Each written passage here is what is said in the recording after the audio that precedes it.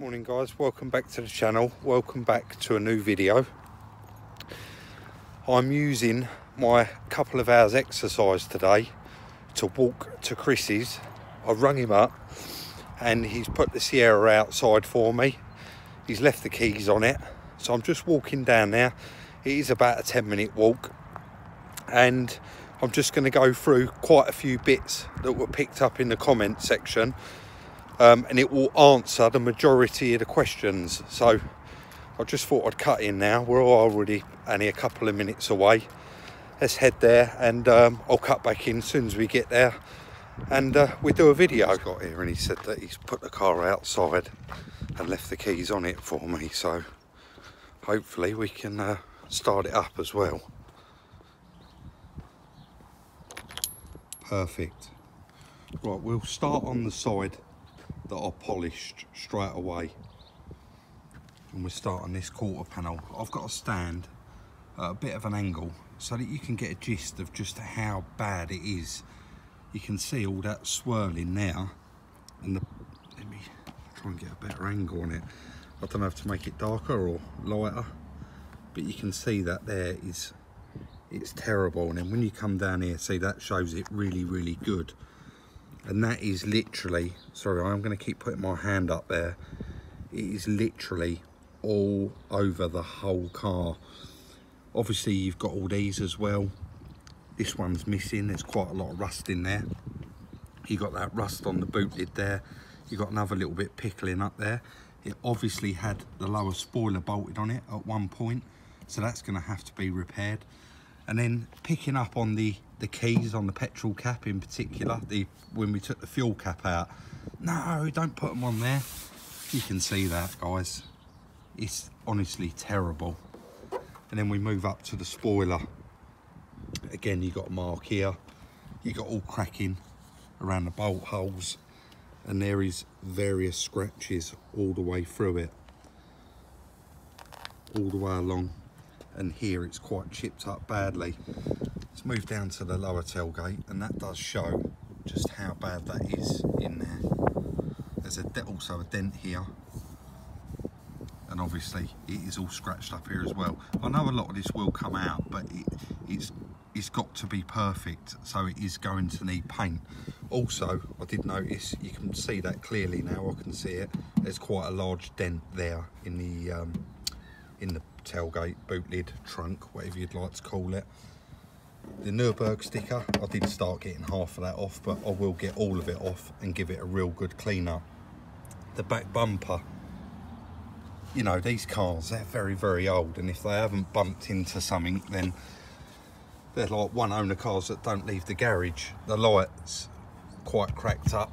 Let's carry on along this side again as usual i know this video is not going to be everyone's cup of tea but so many people reached out to me. I thought you know what i've got to exercise anyway why not? So as you can see those pickles those little micro blisters they're absolutely everywhere. And they was clear as day through that dust you could see them there was no getting away from it. See if we go close there and i show how bad they are and then we come away obviously yeah it does look beautiful from a meter away but I hope that that is answering quite a few questions. The door lock has had some repairs so you can see it is all popping around there. Now that is quite a common place for all of the old Fords so that is going to need doing. Again this door it does look quite nice and it is quite nice. When you look there like that you can see my reflection clearly but when you move along See all those micro blisters? So I am afraid, I'm really sorry, but there's not a detailer in the world that can recover those, you know, that can get rid of those. It's, it's impossible. Again, now we're moving on to the front wing. You can see there, it's had a little touch up at some point, so that's gonna need correcting, obviously. And you've got all micro blisters here. So she is going to need a full repaint and even on the plastic it's all blistering up so a couple of people said well that's because you put the truck wash on it and it's not because I used the TFR It wasn't truck wash, it was TFR, traffic film remover. So moving on to the bonnet, quite a very bad dent. A lot of you sent me that link for that video with the guy driving it. And that dent was actually in it then. And you can see that this bonnet was another colour. Again, the vents, all the paint's cracking off them. So they need painting. The front bumper, it's obviously bumped into a garage wall or touched the back of another car and that has caused that. All there on the front headlights around, it's all chipped up. The rubber's uh, off of it as well, so that's all going to want gluing on. So moving on to the passenger side that I didn't polish. Now you can actually see how bad it is. All these scratches would polish out, but all of these paint chips will not polish out and they are all paint chips. Sorry, that noise is probably quite annoying on camera. The wheel arch is all scratched. The mirror has been replaced and it was silver and you can see it was probably done with a rattly can because it is all coming off. And then the passenger side. I'm just wiping a bit of dust off there. You can see how dull it is and we know that this does polish up quite nice but when you move along here you got all your micro blisters. There's also a dent right here. I don't know if you can see that on. Yep you can see that. The body kit and side skirts all seem to be fitted quite nice still and they've all kept their shape quite nice.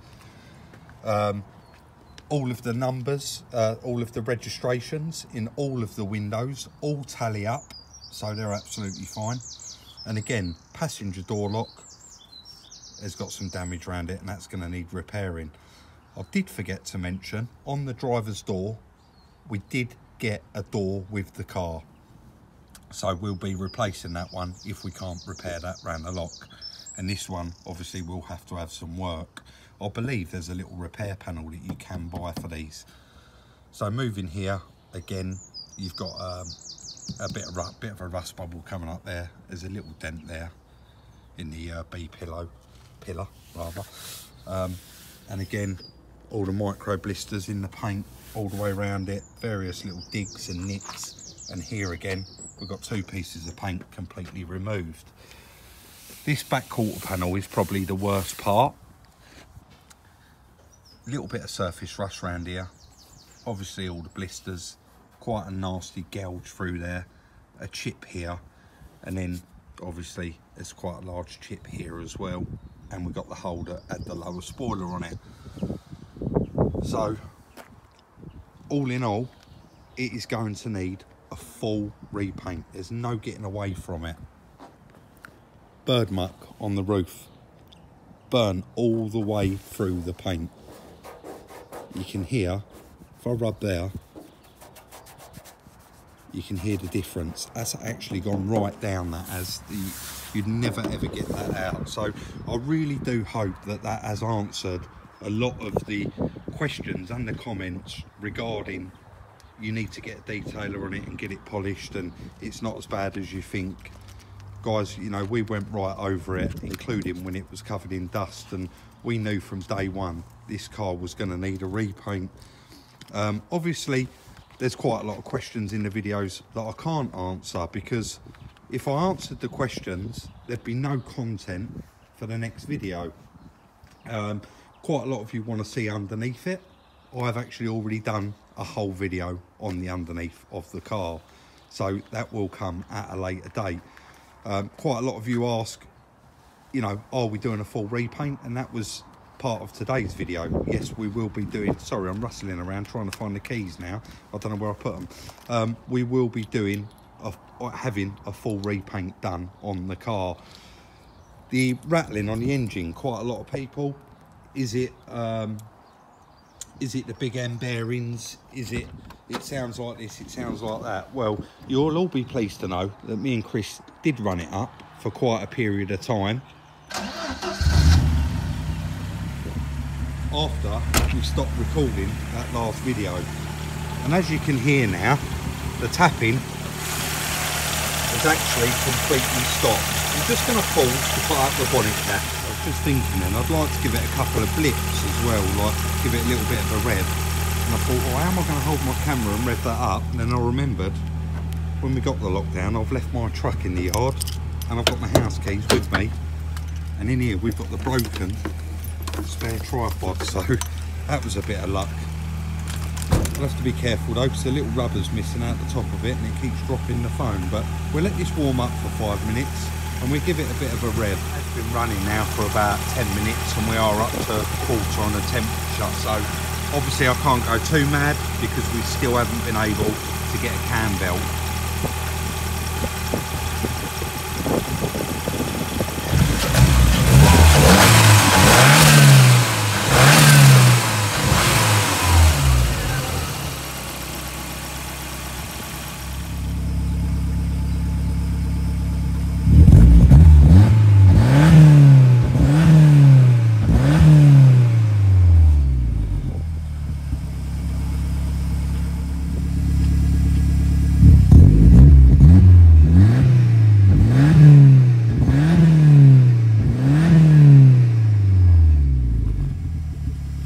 I know it never sounds brilliant on camera and engine running, but that does sound absolutely beautiful and as it should now. So we're quite happy that the oil obviously got up to the hydraulic lifters and uh, that new oil and it seems to be over the moon with that and sounds absolutely spot on now.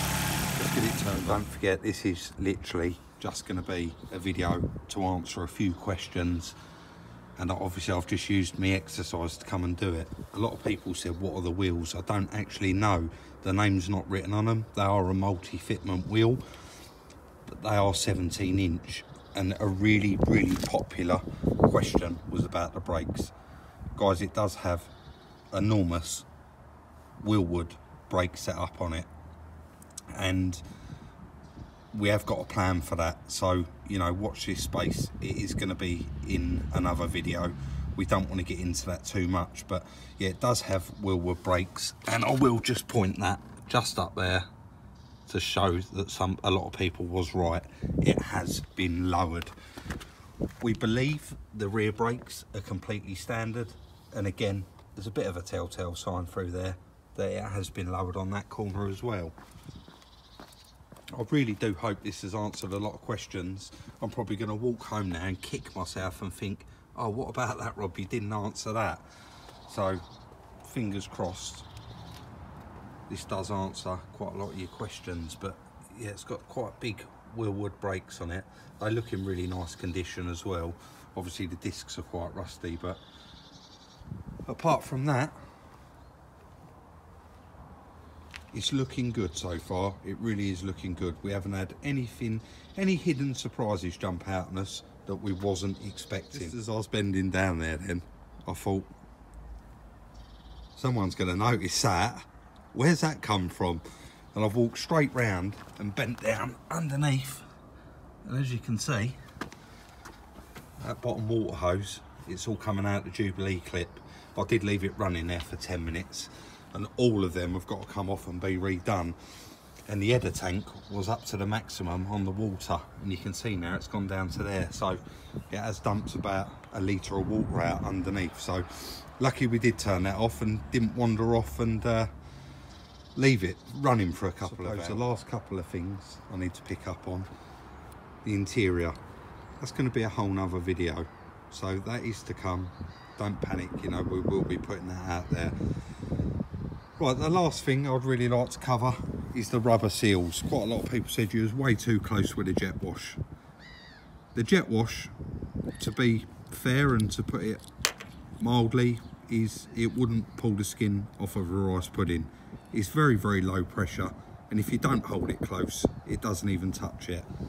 Also, the seals on the car are perfect and there was no ingress of water when I was jet washing it if you have a look at all of the rubber seals they're all absolutely perfect. I was not jet washing the rubber seals just the paint. Anyway let's not get uh, negative about it. From here it absolutely looks beautiful and doesn't look like it's got a mark on it. And I really do hope that today's video has answered quite a lot of questions and it has shown that it is far from perfect I did say in the initial video, the car is very, very straight and the car is straight for a car of this era and this age. I will just say about the door, a couple of people said about the door here. And we looked at it and the, the catch is quite low down there. We can adjust that up and we'll get that door back exactly where it should be.